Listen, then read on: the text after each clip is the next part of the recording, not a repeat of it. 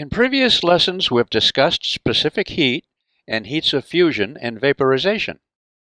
Let's view this in more detail with this graph of temperature versus heat for one gram of water undergoing phase changes.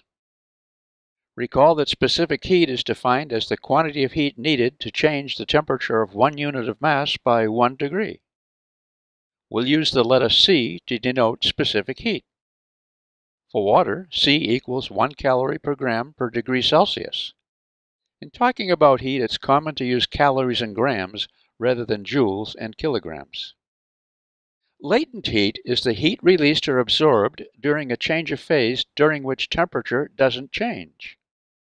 We'll use the letter L for latent heat. For latent heat of fusion, we'll use subscript F.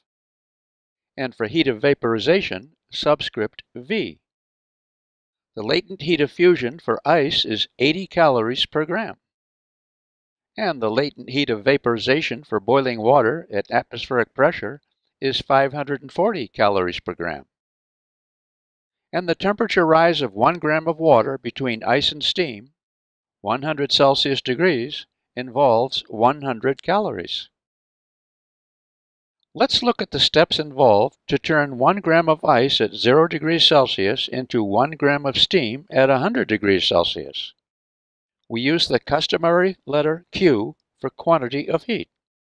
So to express the change of ice to water, we say Q equals M L sub F, which for 1 gram equals 80 calories. Or for 2 grams, the quantity of heat would be twice as much, 160 calories. For m grams in general, the quantity of heat needed for the phase change from solid to liquid is m L sub F. We express the quantity of heat needed to increase the temperature of water through T degrees as Q equals Cm delta T, where C is the specific heat of water, M is the mass of water, and delta T is the change of temperature, 100 degrees in this case.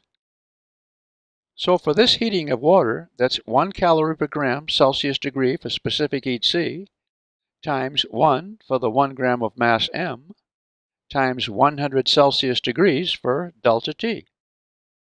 Here, of course, Cm delta T stands for any amount of mass M and any temperature change delta T. For example, Twice the mass of water heated through the same temperature range would require twice as much, 200 calories, and so forth. And turning 100 degree water to steam, we get 540 calories.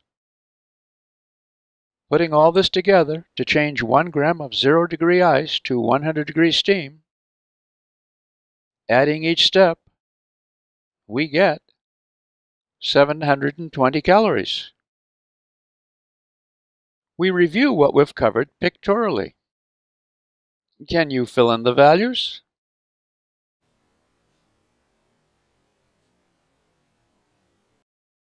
And we get, as expected, 720 calories. So to turn our 1 gram of 0 degree ice to steam at 100 degrees Celsius requires an energy input of 720 calories. If you continue your study and solve problems involving quantities of heat, you'll use the equations we've covered here.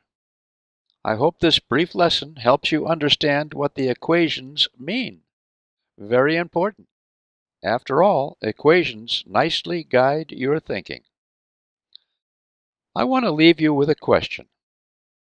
How many calories are released by 50 grams of 10 degrees Celsius water when it cools to 0 degrees Celsius and then freezes to ice. In total, how many calories? Until next time, good energy.